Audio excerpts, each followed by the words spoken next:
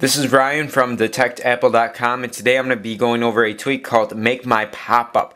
It is a Big Boss repo tweak and it's going to let you create your own pop-up that will appear when you tap on your power button and hold it.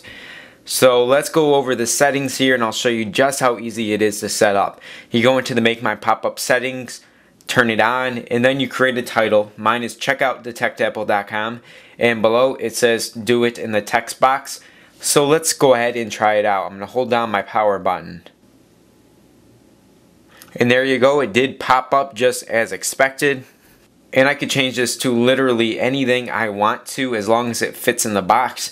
The only problem with this tweak is it's going to disable your power down menu. So if I hold it down, the message will pop up, but it will not bring me to my turn off my device uh, power settings.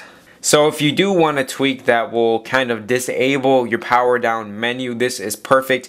And you could leave a little cool message so you can amaze your friends or whatever you want to do. So guys, if you are interested, it's called Make My Pop-Up. It is all one word. It is a Big Boss Repo tweak. Tell me what you think about it in the comments below. Remember to give me a thumbs up if you do like this video. Subscribe to me if you want to watch more videos like this. And I'll see you in the next one.